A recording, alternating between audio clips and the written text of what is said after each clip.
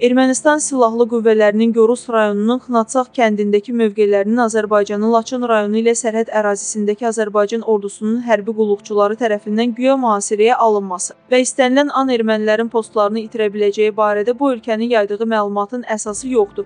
Bu barədə Müdafiə Nazirliyindən məlumat verilib.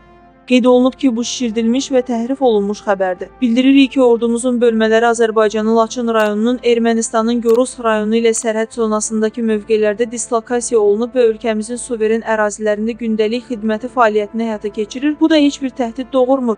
Ermənistanda bu kimi xəbərləri yayan dairələrə əsassız şəkildə panika yaratmamağı, Ermənistan ictimaiyyətini çaşdırmamağı və Azərbaycanın Zəngilan, Qubadlı, Laçın və Kəlbəcər rayonları işğaldan azad olunduqdan sonra həmin rayonlar boyunca iki ölkənin dövlət sərhədində Azərbaycan hərbi qulluqçularının sivil qaydada xidməti fəaliyyətini həyata keçirmə rejiminə artıq öyrəşməyi və həmişəlik adət etməyi tövsiyə edirik deyə nazirlikdən bildirilib.